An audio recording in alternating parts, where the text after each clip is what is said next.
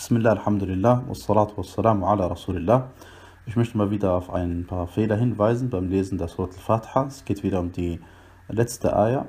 Und zwar geht es um غير المغضوب عليهم ولا الضالين.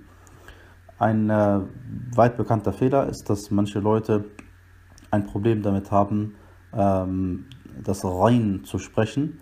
Und ähm, da es auch in der Lautumschrift ähm, sehr leicht zu verwechseln ist mit einem G, der Unterschied ist eben der Punkt darüber, denken manche Leute, dass es heißt, statt Ghayril Maghdubi sagen sie Ghayril Magdubi.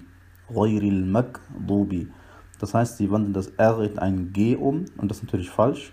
Das heißt korrekterweise, so wie man am Anfang sagt, Ra, Ra, Ghayril, heißt es auch hier Maghdubi. Maghdubi.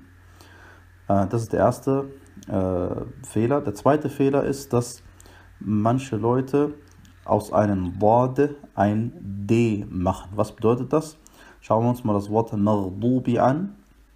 Nach dem ähm, Rein von Mar, nach diesem Mar folgt ein Buchstabe, der heißt im Arabischen Borde. Und dieses Bord ist ein äh, besonderer Buchstabe, da er ähm, vielleicht nur in der arabischen Sprache vorkommt und keiner anderen Sprache vorkommt. Und er entsteht an den äh, Zungenseiten oder an einer von beiden Zungenseiten mit dem äh, oberen Gaumen.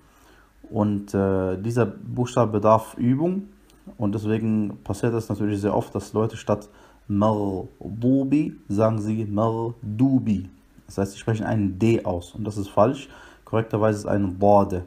Ba, Di, Du, sagt man im Arabischen. Und hier heißt es dementsprechend غير المغضوب غير المغضوب عليهم ولا الضالين und so weiter. والله تبارك وتعالى أعلم وصلى الله وسلم على نبينا محمد